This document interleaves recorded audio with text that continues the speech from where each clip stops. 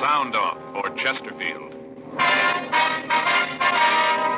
Chesterfield, first cigarette in America to give you premium quality in both regular and king size, brings you Dragnet.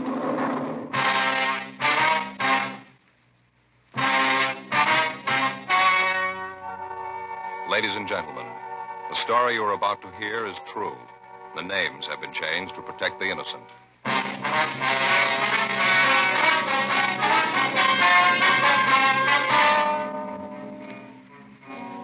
A detective sergeant. You're assigned a robbery detail. You've just rounded up a vicious gang of thieves. The heavy man is still at large. Your job? Get him. Hello, this is George Fenneman. I want to talk to you about the cigarette that's really on the move. The one everyone's talking about and trying. Chesterfield. First cigarette in America to give you premium quality in both regular and king size. Chesterfield King Size is exactly the same quality and exactly the same blend of tobacco as Chesterfield regular size. There's absolutely no difference, except that King Size Chesterfield is larger, contains considerably more of the same tobaccos. So much more it gives you a 21% longer smoke, yet costs very little more. And Chesterfield King Size contains better tobaccos and is of higher quality than any other king size cigarette. So sound off for Chesterfield. Either way you like 'em, regular or king size, Chesterfield gives you the best possible smoke.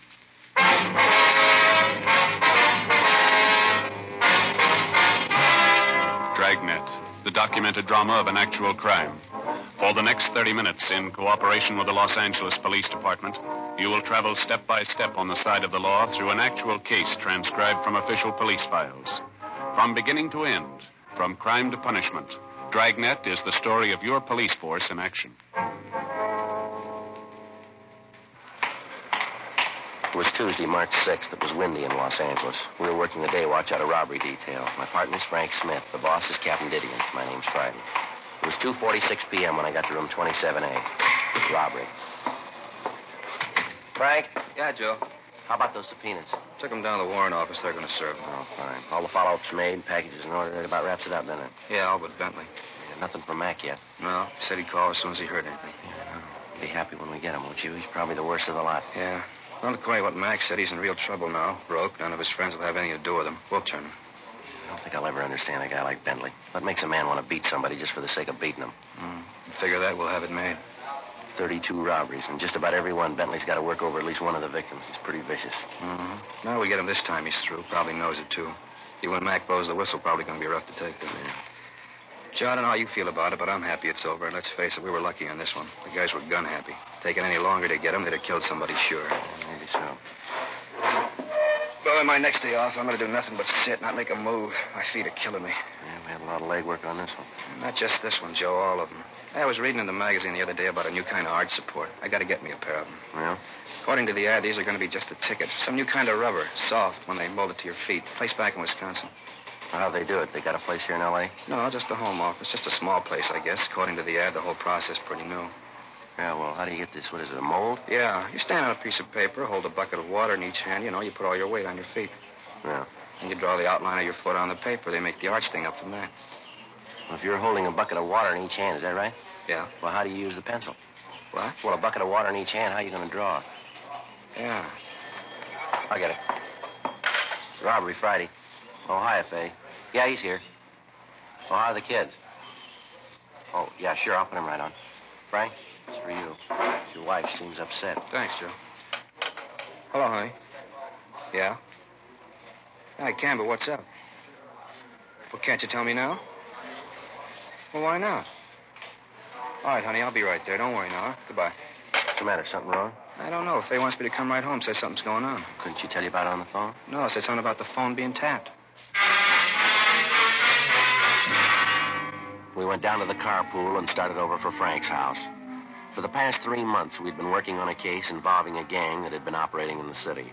During that time, they'd committed 32 armed robberies, and in most instances, they'd beaten their victims for no apparent reason. Their ruthless attitude was the most outstanding single point of their M.O. We'd successfully rounded up all members of the gang with one exception Leroy Bentley, alias the Bull. Bentley was the known heavy man of the gang. In order to successfully prosecute and apprehend any criminal or criminals, the police officer requires the fullest measure of cooperation and assistance that he can obtain from many people the private citizen and his own associates as well. From the ranks of the private citizen comes one important aid the informant. The working detective knows that in many cases his most valuable assistance can often come from his informant. In this particular case, we'd received information that would lead us to Bull Bentley within a matter of days. 3:22 p.m. We arrived at Frank's home. I'm glad you're home, honey. I'm awfully worried. Oh, Joe. Are you? What's the trouble now? What's this all about this phone being tapped? Well, that's what he said. Who? The man who called. All right, now, honey, can you tell me what this is all about? I got a phone call just before I called you. It was a man. Said his name was Bull Bensler of Bentley. I didn't get it. He said that you thought you were a smart cop, but if you didn't lay off him, he was going to take care of you where it hurt the most. He threatened the children and me, too. Frank, I don't know what to do. Go on.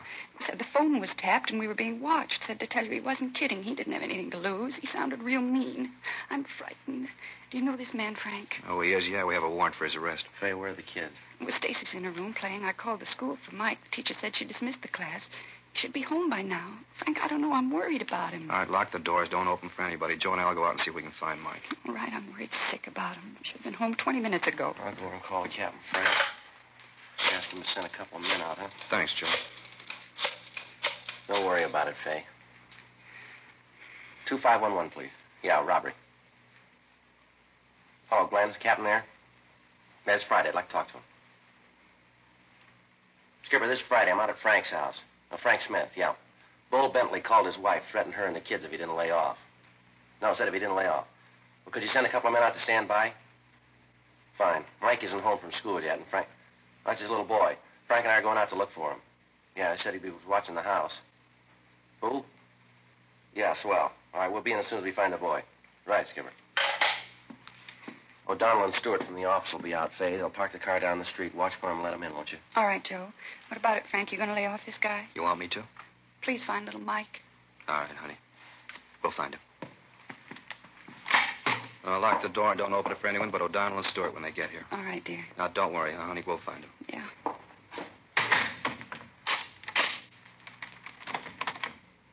Let's go. Joe, what do you think? I don't know. Tell you one thing. Yeah. I'm scared.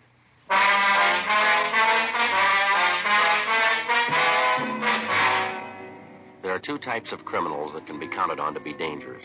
The youngster who becomes easily panicked at the scene of a crime, and the older criminal who will do anything rather than go back to the penitentiary. Bull Bentley was one of these. We knew that he was more than capable of carrying out his threat. His record was one of armed robbery, vicious beatings, and kidnapping. At this particular time, he was wanted for murder in the state of Colorado. The average criminal will blame anyone but himself for his predicament, usually the police officer, and this was so in Bentley's case. He apparently thought that by getting us off his trail, he could go free. Frank and I searched the area around the house. We found his little boy in a vacant lot two blocks from school playing with a group of youngsters. We put him in the car and returned him to his home. Stewart and O'Donnell were at Frank's house and said they'd stay there until they were relieved. 4.36 p.m. Frank and I checked back into the office. Smith, Friday, in here. Right. Come on in. Find the boy? Yeah, Skipper, out playing with some of the kids in the neighborhood. All right. Now, what's this all about? Well, this bunch we just cleaned up. Yeah? Bull Bentley called Frank's wife and told her that if Frank didn't lay off of him, he was going to get to him through his family. What do you plan to do? Oh, no choice. Get him before he can do anything, I guess. Frank? Yes, Skip. You like to be taken off this assignment? No, no, it's a personal matter. It's up to you. Let's see that your house is covered when you're not home. You keeping the boy away from school? Yeah, Captain, until this thing's over. You got any ideas where you can pick Bentley Well, up? Oh, we've covered all the places he's known to hang out. Want any help? No, not right now. Just find him fast. Well, you know he's in town. Figure he's going to stay here. Well, we don't think he's got much choice. We figure he's broke, he's hot. None of his friends will take a chance on putting him up. He's going to need money. Better cover the bus depots, train depots, alert the airport detail. Get a couple of hundred mugs printed up on him, distribute them to the beat men and radio cars. Contact Captain Hamilton, intelligence. He might be able to come up with something. Our informant said he could turn Bentley for us in a week. A week's a long time, Joe. No. You've covered all his hangouts. All of them. Nobody's seen him in a couple of days. Just seemed to drop out of sight. Big town, a lot of people. Sometimes you don't realize how big till you start looking for one man. Yeah. Want to get in touch with the boys in the press room, give them the story, see if they'll carry Bull's picture. See Jack Ricketts, he'll put the picture on suspects wanted. We'll get started on it right now. You got a silent number, haven't you, Frank? Yeah, it's unlisted. How'd Bentley get it? It had to come from somewhere. Joe and I were talking about that. You know pretty much who we give the numbers out to. About the only one we can figure that'd be in a position to give it to Bentley is Harry McLeod. Your informant? Yeah. How long since you've heard from this McCloud? A couple of days. Figure maybe he'd cross you, throw in with Bentley. Well, it's possible. I don't think so, though. He's leveled with us so far. Number had to come from someplace. Yeah, well, it sure makes it look like McCloud, doesn't it? I don't think Mac would give the number away on his own. Bull could get it. We got 32 people to prove it. Well, we better get on this thing. Come on, Frank. Right. Check you later, Skipper. Joe, I don't know what I'm going to do. Well, don't worry. We'll get to him. No, I mean, this two-bit thief calling Faye, threatening her. Try to take it easy. I know how you feel. Why me, Joe? Bull Bentley's brushed up against a hundred different cops in his day. Why me? Law of averages, I guess. You were handy. I knew just what to do. Skipper gave you a choice. If you'd like to go home, nobody'd blame you. You don't know what it is, Joe. You don't have a family. Something like this can split you in two. Half of you wants to be on the job, the other half is pulling you toward home. Joe, if that cheap punk steps on my front porch, I'm going to lean on him hard. Now, look, Frank, this isn't going to get us anyplace. Let's get over to the photo lab and get this thing moving, huh? I could just figure it. 4,000 guys in the department, and Bentley has to pick me. Joe, why me? All right, look, Frank. I could try to spell it for you a hundred ways, and we still wouldn't come out with any kind of a total. I know what you must be going through, and I'm sorry it's got to be you. I'm sorry it has to be any cop. You're right about me not having a family, but it's squeezing me just as hard as it is you. You and I both knew when we filled out those application blanks what we were taking on. It's the job, Frank. Maybe I never told you before. Maybe you've been through this too. I don't know. There isn't a day goes by that I'm on the job here that I don't run into something that breaks my heart. Why did Ed Wilson have to get shot down when he and his partner tried to take that guy out of that rooming house over on 8th Street? Why did Olson and his partner have to end up in the P&F ward last week? Why do you have to run the gamut of every human emotion and class of people on Earth? Poor or rich, it's all the same. Somebody picks up a gun to knock over the corner gas station, everything hangs in the balance. The minute that thief slips a cartridge into his gun, the gas station attendant, his family, his kids, and every relative he's got slides right onto the short end. Everybody seems to think that wherever crime is concerned, they never get any closer to it than the front page of the morning paper. I know you know this, Frank. For every attempted crime, God only knows how many innocent people are thrown into the balance even before the crime's been committed. That's the way it is, Frank. I'm not trying to tell you anything you don't know, but the minute you passed that exam, you had to make book that something like this could contaminate you just as surely as if you weren't a cop. I guess it's almost a legacy. Nobody's found a vaccine for crime. Nobody's immune. And it's worse with you and me because we know better than to think we can't be touched. We know we can. We invite it every time we roll on a call, every time we pick somebody up, every time a guy gets out of line. It's the job, Frank. I didn't mean to give you an academy lecture, but if it's any comfort, I'm with you. I know just how you feel, and so do 4,000 other guys right down here. Yeah. I guess maybe we better get moving, huh? Yeah, come on. Took the mug shot of Bentley to the photo lab and asked them to run off 200 copies. We checked with the reporters in the press room, and they promised us full cooperation. Jack Ricketts told us that he'd put the picture on the air the next day. Frank called home and found that there'd been no further calls from Bentley. 6.17 p.m. We started to look for Harry McLeod, our informant. We checked his hotel, but the clerk told us he hadn't been in all afternoon. We started checking his known hangouts.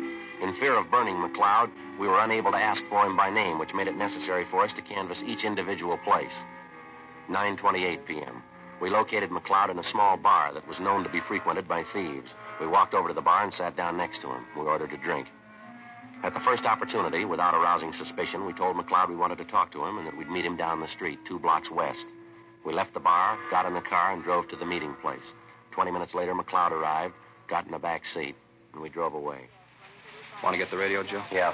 What's the matter with you guys? I told you I'd get in touch with you and I had something for you. You trying to get me Now, burned? take it easy, Mac. Just a couple of things we want to know. I'm on your side. You guys know that. I've always leveled with you, haven't I? Yeah. Well, then what's this bit? You walk into that joint, you know what goes on in there, and you pull me out. Good chance somebody could have seen you, you know. Yeah, we know, Mac. Have you seen Bentley? No, I told you I'd let you know when I turned him. Now, don't snow us, Mac. This is important. Have you seen him? If I saw him, I'd have called you. You know that, don't you? I'd have called you guys. I told you once I'd finger him for you. I haven't called. I haven't seen him. It's that simple. What's the big rush about getting Bentley anyway? He ain't going nowhere. Now, look, Mac, we got a personal interest in this thing. This isn't just robbery. Bull's been calling Frank's wife saying he was going to kill her and the kids. You know he'd do it. Now, how about it? I didn't know it was like that. Bull's mean enough to do it, Well, that's too. how it is. Now, I'll ask you once more. Have you seen him? Yeah. When? Day before yesterday, Sunday morning. Saw him down Marty's. How come you didn't call us? I couldn't, honest, I couldn't. He came in and asked me for some dough. I told him I didn't have any. I tried to stall him till I could get to a phone. Yeah? Didn't work. He wouldn't wait. Got mad when I couldn't help him out. You say anything about a meet? Just said he'd get in touch with me. Yeah. He was real sore when I couldn't let him have any dough, but I told him, I said, look, Bull, you know I want to help, but I just haven't got it. That's what I said. Yeah? Wasn't kidding either. Things been pretty rough. Say, you guys couldn't see your way clear, could you? Sawbuck to tide me over? Huh? No, you got me at the wrong time, Mac. I'm tapped. How about you, Smith? Hmm? Well, if you gotta have it, I got ten bucks I've been saving for a pair of shoes. I sure appreciate it. You guys know that. Yeah, we know. You got any idea how Bull might have gotten Frank's home phone? No, not the slightest. You sure you didn't give it to him? Joe, you've known me for a lot of years. Would I do a thing like that after the way you guys treated me? Well, that's what we're trying to find out, Mac. I should get a little insulted at that. You guys figuring out about Oh, now me. come off it, Mac. Did you give him the number? No, I swear to you I didn't. All right. You got any ideas where Bull might be hiding? Not in particular. Check the usual places? Yeah, we looked through them all. And you know as much as I do. He did say he looked me up in a couple of days. You see where he was going when he left you? No, just walked out of Marty's. I saw a friend of his yesterday, though. Yeah. Guy said he'd seen Bull Sunday night. Say what he wanted? Money. Said he'd try to tap him for some dough to get out of town. His friend help him? He didn't give him any money. He gave him something else, though. Yeah. He gave him a gun.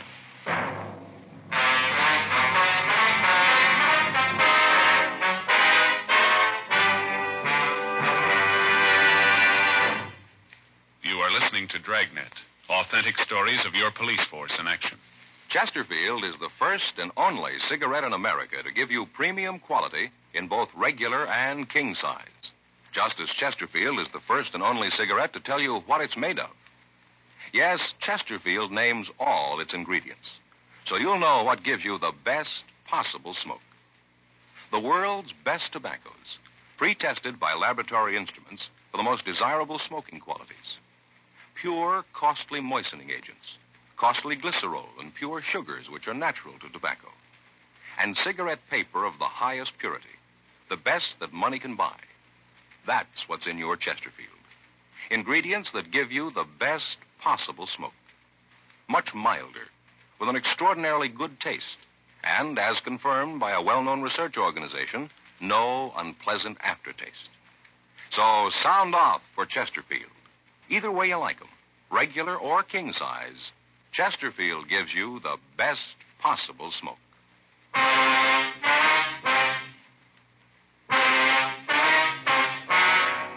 Before we left Mac, he furnished us with the name of the man who'd given the gun to Bull Bentley. We recognized the name Dave Slater as a small time hoodlum who'd do anything to make a dollar as long as he himself was reasonably safe in doing it. Mac told us of several places where we might find him. The most likely place was a pool room on North Main Street. Slater had numerous arrests, most of them for being drunk and for acting as a lookout for gambling games. He was a type of thief that can be found in every large city, always on the fringe of criminal operations, but never directly involved in the crime itself. We checked several of the places Mac told us about, but we couldn't come up with Slater. We checked the pool room. The manager was evasive and at first appeared reluctant to talk. We informed him that we knew Slater would be back and that we'd wait for him. The manager asked us to come to the back room with him. He told us that Slater had said that he was going down to the all night hamburger stand on the corner to get something to eat. We found Slater sitting at the counter. Call this thing a hamburger, all I can see is a bun. I'd be ashamed to sell a thing like this lousy deal 35 cents for nothing. Slater? Yeah, well, something you want? Police officer Slater. We want to talk to you. What about? Bull Bentley. Bentley? Never heard of. We got information you do know him pretty well. Yeah? You tell your pigeon he's lying. I never heard of the guy. Now, let me finish eating. We want to talk to you, Slater. You want to make it here, or would you rather go downtown? Can't you see I'm eating? Now, let me finish. huh? I got nothing to tell you. I don't know any Bull Bentley. Now, lay off, huh? Come on, you can think better than an empty stomach, Slater. Let's go. Frank and I took Slater out of the restaurant and put him in the car. Once he was in custody, his attitude changed completely. He said he wanted to help us, but that he didn't know Bull Bentley. 1044. We got back to the city hall. I want to stop by the office, Joe. Call home. All right, I'll be in the interrogation room. You tell us, Skipper. Yeah. In here, Slater. Yeah. Sit down. Sure. Look, I told you I want to help you guys out, but honest, I don't know anything. If I did, I'd let you know. All right, come off it, Slater. Where's Bentley? Look, I keep telling you, I don't know any Bentley. Where you living now? Solly Hotel, West Fifth. How long you been there? A couple of days. You working now? Yeah, a little. Odd job now and then. You know, nothing steady. What do you call an odd job, Slater? Oh, you know, sweep out the pool room, rack the balls for him. Yeah, sure. Now, look, we've known you for eight years. You never worked a day in that time. Now, how about Bentley? We got a personal interest in him. We want him. We want him bad. Look, I tell you, I don't know any Bentley. Anything new? Yeah, Joe, he called a couple more times tonight. Last time at 10.30, scared Faye half to death. Yeah. Said he knew Mike was home. He knew we were looking for him. That if we don't stop, it'll get to the kids. Said it didn't matter how many cops we had around the house, he'd get to him. Faye's almost hysterical. O'Donnell called the doctor. Yeah. How about Slater? He come up with anything? No, still says he doesn't know him. Doesn't know him, huh? Listen, Punk, let's you and me get straightened out. What happens to me is one thing. What happens to my family's another. They don't pay me enough money to jeopardize my family. Now, you get this straight. When punks like you and your trigger-happy friends can threaten my family, then something's got to give, and it's not going to be me. Yeah, but I told you. Look, wipe that silly grin off your face, Slater. You feel nice and safe there, don't you? You know, as long as you're in custody, we got to take care of you. Well, maybe you'd like to know that if I have to, I'll take this badge off and walk up one side of you and down the other. Now, I want to know where Bentley is, and I want to know now. We're not stumbling around in the dark. We know you gave him a gun. Let me tell you this, mister. Mark it down. If anything happens to my wife or my kids, you can't run fast enough to get away, because I'll nail you hard. All right, Frank. He's getting pretty tough, isn't he? He's just telling you how you stand. Now, come on. Where's Bentley? I told you, I don't know Bentley. All right. Let's get everything out of your pockets. Get it on the table. Well, there's nothing much. Uh, here, change, keys, yeah, and a nail file, address book, my handkerchief, comb, wallet, yeah, cigarettes, and matches. That's all. You want to shake him down, Frank? Yeah. I told you that's all. now, what are you looking still. for? Now, push your luck, Slater. It's clean, Joe. How much money you got in your wallet? I don't know, double sawbuck maybe. It's a funny thing. You guys never work, but you always got money. All right, take the money out and count it, Slater. Why? What's that going to prove? Take it out and count it. All right. Ten, twenty, twenty-five, twenty-six, twenty-seven, thirty-seven. Another five. Forty-two bucks. I didn't know I had that much. All right. Put the money in your pocket. Is that all the money in your wallet? Yeah, that's it. Let's see the wallet. Here. There's nothing in it. A couple of cards, that's all. Yeah. Let's see here. A couple of pawn tickets. Picture. Who's the girl? Babe, I met in Dago. You don't know her. She's not in the rackets. Married now. I haven't seen her in a year. Then why are you carrying her picture? Always kind of liked her. She had class. Real nice broad. You said you didn't know Bull Bentley? That's what I said. How about Leroy Bentley? Nah. You know anybody at all named Bentley? Look, I told you I don't know any Bentley. How many times do I have to tell you? You know anybody by the name of Bull? I don't know anybody named Bull. I don't know anybody named Bentley. Yeah. Take a look, Joe. Now, maybe you can explain this then. Yeah, what's that? Bar tab in your wallet. His name Bull written on it. How about it, Slater? Who's Bull? I don't remember that. Probably something I picked up a long time ago. I, I don't remember it. Tab's dated March 4th, day before yesterday. Your memory must be getting pretty bad, huh? I got nothing to say. Right, Frank, you want to check the business office and see who this number is listed to? Yeah, Joe, right away. All right, fine. I'm going to tell you something, boy. This is a rotten deal. The law protects people like you. You're lying. We know it, and you know it, too. You know Bentley. You know where he is. What's more, we know you gave him a gun Sunday night, the same date on that tab. I'll tell you what we're going to do, Slater. You're a real wise guy. You talk fast. We're going to get Bull. Maybe not tonight, maybe not tomorrow, but we'll get him. And when we do, we're going to tell him that you blew the whistle on him. We're going to put him in the same cell with you. I'd like to hear you talk your way out of that.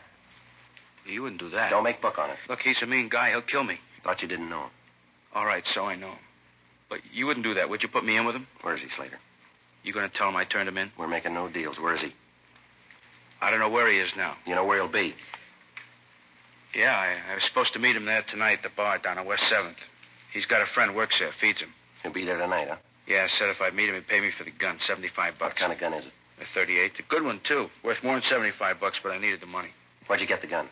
Well, you'll find out anyway. I might as well tell you. Prowled the car, found it under the seat. Found out later it belonged to a guy in the vice squad. Probably real sore about it. Could be Joe Barn, West 7th, place called the Hamilton Inn. Yeah, that's it. He'll be there. All right, Slater, let's go. Where you taking me? You're going to jail. No, you can't win. Should have known you. Hey, do me a favor, huh? What's that? Talk to the jailer, make him give me a cell by myself. We handcuffed Slater to a chair in the robbery office until we got back to book him. 12:32 a.m. Frank and I left the city hall for the Hamilton Inn on West 7th Street. Slater had told us that he was to meet Bull Bentley between 1 and 1:30. When we got there, there were a half a dozen people in the place. We checked the bar and the men's restroom, but Bentley wasn't around. We went back to the car, drove down the street to a closed service station, and parked where we could keep both doors of the restaurant under surveillance. 12:50, 1 a.m., 1:15. We waited. 1:35. Joe, that him? I don't know. It might be. Let's take a look.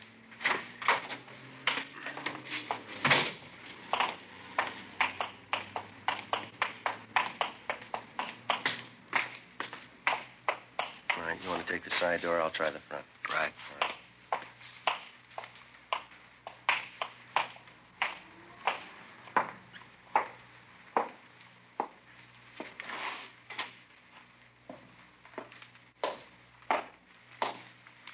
I don't see him, Joe.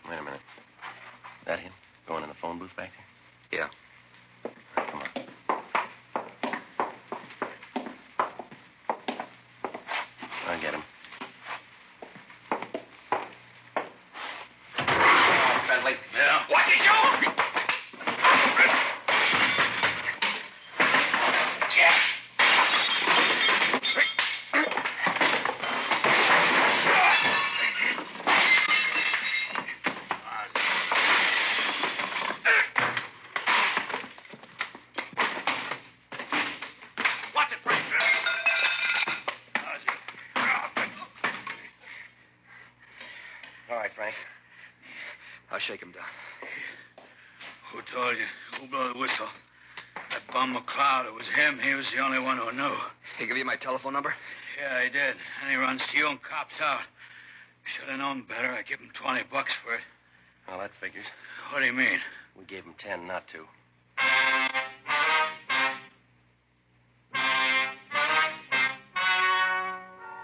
The story you have just heard was true. The names were changed to protect the innocent. On June 12th, the hearing was held in the district attorney's office. In a moment, the results of that hearing. Now, here is our star, Jack Webb. Thank you, George Fenneman. Friends, I'd like to talk to you about something that's important to every one of you. Now, for the first time, you can get a premium quality cigarette in either regular or king size. Of course, that's Chesterfield. Both regular and king size Chesterfields are made of the proven ingredients that give you the best possible smoke. Both are much milder, with an extraordinarily good taste and no unpleasant aftertaste. Yes, there's no difference between the two, except king size Chesterfield is larger, contains so much more of the same tobaccos, it gives you a 21% longer smoke, yet it costs very little more. So remember, either way you like like 'em, regular or king size, Chesterfield gives you the best possible smoke.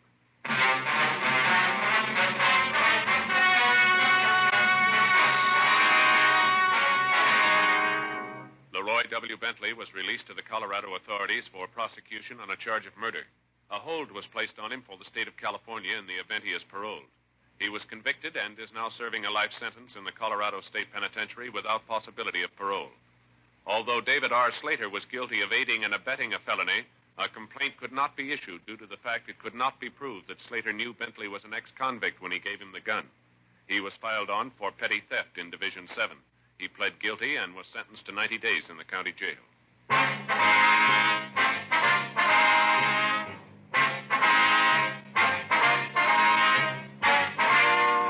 Just heard Dragnet, a series of authentic cases from official files. Technical advice comes from the Office of Chief of Police W.H. Parker, Los Angeles Police Department. Technical advisors Captain Jack Donahoe, Sergeant Marty Wynn, Sergeant Vance Brasher. Heard tonight were Herb Ellis, June Whitley, Jack Kruschen. Script by John Robinson. Music by Walter Schumann. Hal Gibney speaking. These great programs sound off for Chesterfield. Radio. Dragnet, the Dean Martin and Jerry Lewis show, and every weekday Arthur Godfrey time. On television. Dragnet, Gangbusters, Arthur Godfrey and his friends, and the Perry Como show. Tomorrow, you'll want to sound off for Chesterfield. Because either way you like 'em, regular or king size, Chesterfield gives you the best possible smoke. Chesterfield has brought you Dragnet, transcribed from Los Angeles.